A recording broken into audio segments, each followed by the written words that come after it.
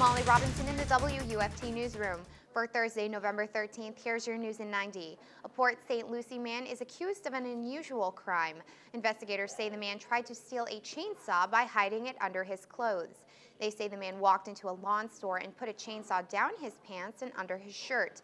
They say he made his getaway on a stolen bicycle. He has been charged with grand theft.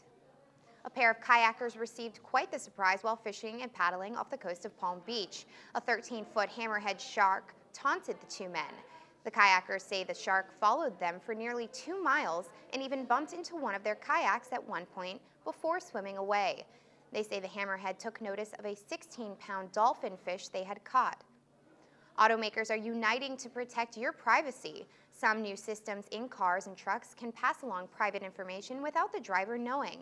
19 automakers are pledging to not let any information end up in the hands of advertisers, insurance companies, or even the police without a warrant. The pledge by the Alliance of Automakers was sent in a letter this week to the Federal Trade Commission.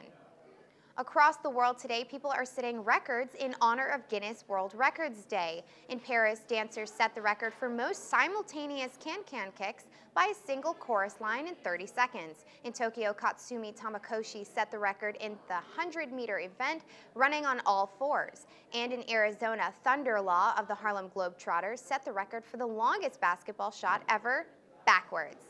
That's your news in 90. Thanks for watching.